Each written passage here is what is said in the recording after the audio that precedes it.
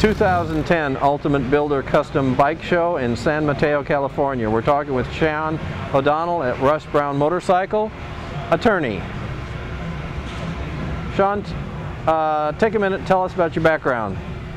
Well, I work for Russ Brown, the motorcycle attorney. He's the original motorcycle attorney.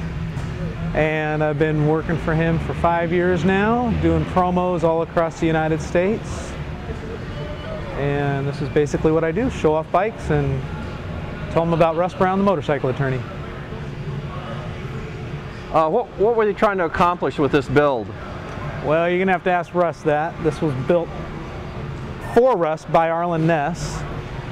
And uh, the rear end is a darn fine Trikes rear end. So originally this was a, a two-wheel, It was and then it was converted. Yeah. Okay.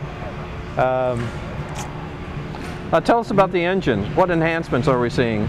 Well, it's an S&S motor with a uh, Edelbrock aluminum heads. It was a 103 cubic inches, bored out to 109. And that's about all I know about the motor. It goes Uh, fast.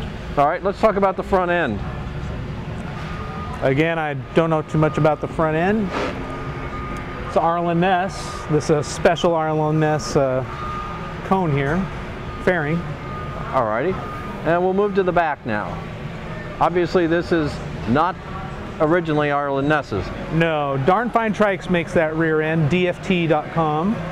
And uh, it's a really nice rear end. It's independent, goes over bumps real smooth, and it's a smooth bike to ride. It's really fun to ride, actually. Uh, let's talk about paint. Performance Specialties uh, did the paint job. Russ just told them to do whatever they wanted to, and they did. There's uh, fishbone up here and scaling over there, and different detail in the black and the pink if you look closely. Well, it's a nice looking trike.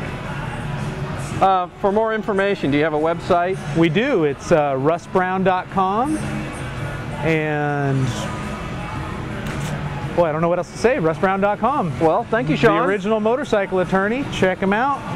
He's there for your motorcycle needs. Thank you, Shawn.